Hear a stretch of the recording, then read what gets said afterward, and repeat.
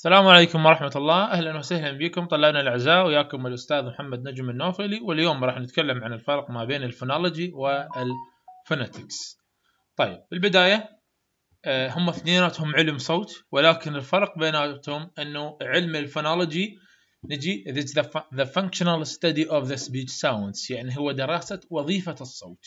علم الوظيفة يعني يعني تأثير الصوت من بعضه لبعض يعني العلم الذي يدرس وظائف الصوت وكيف يتأثر الصوت آه، بالنظام الصوتي.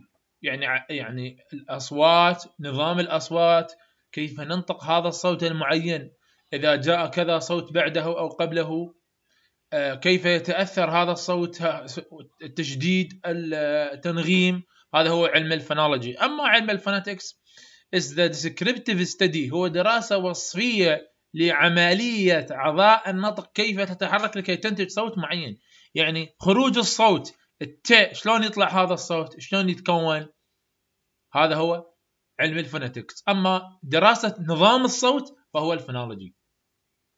Phonology deals with abstract sounds.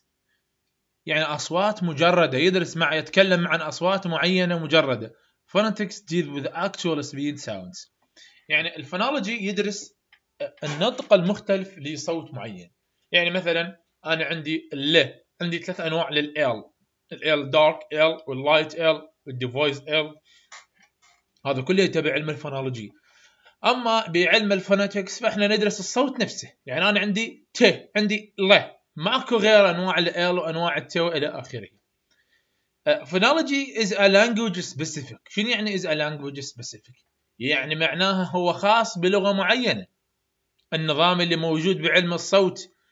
نظام الصوت باللغة العربية يختلف عن نظام الصوت عن اللغة الإنجليزية.